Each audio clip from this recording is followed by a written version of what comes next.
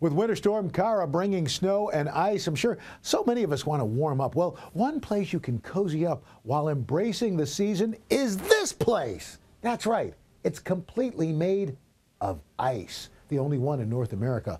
Hotel de Glace is located a short distance from downtown Quebec City. Hotel's been around since 2010, but every year they got to rebuild the thing because it melts. To do that, they haul in 500 tons of ice, 30,000 tons of snow.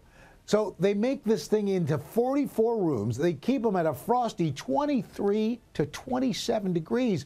Even your bed is made of ice. But don't worry, you do get a warm sleeping bag. And if you need to warm up, a sauna and hot tubs. Oh, yes. Plus, a bar and a restaurant and a giant slide made of what else? Ice.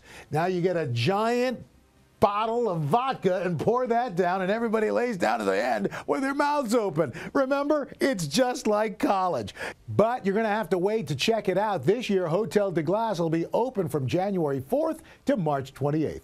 I'm Al Roker, weather.com.